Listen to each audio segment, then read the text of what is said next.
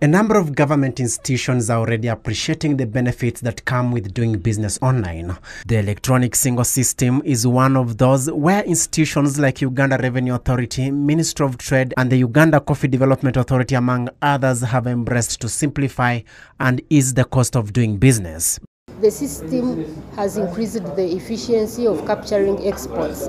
In times in terms of timing because whenever we submit a document which is a quality certificate because we have an interface with Uganda Electronic Single Window it is captured by URA and the customs are able to see how much coffee is being cleared. It's not all rosy because uh, there are some I would call one big disadvantage Uh, uh, when the system is down, when there's no network, everything shuts down.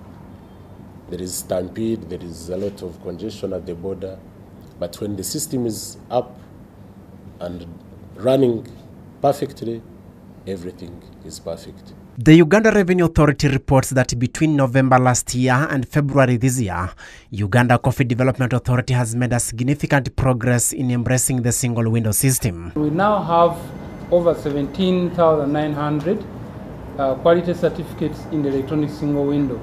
So from November, December 2016 up to today, we have now close to 18,000 with this kind of development, Dr. Mukhisa Kituyi, the Secretary General of the United Nations Conference on Trade and Development, says there is great need for government to invest in quality broadband to facilitate online trade with minimal challenges. What it means is that you have to do uh, like a vertical learning curve, uh, building not only the capacity, but assisting particularly small businesses to get marketplace uh, visibility as a way to the future. So for that alone, let alone all the other components, it is critically important that the ecosystem for, for digital economy has to be built in Uganda.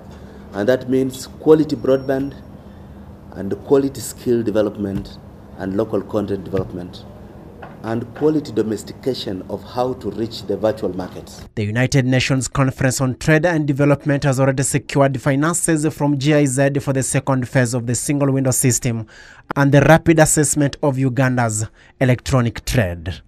Samporo Nahaima, NBS, live at 9.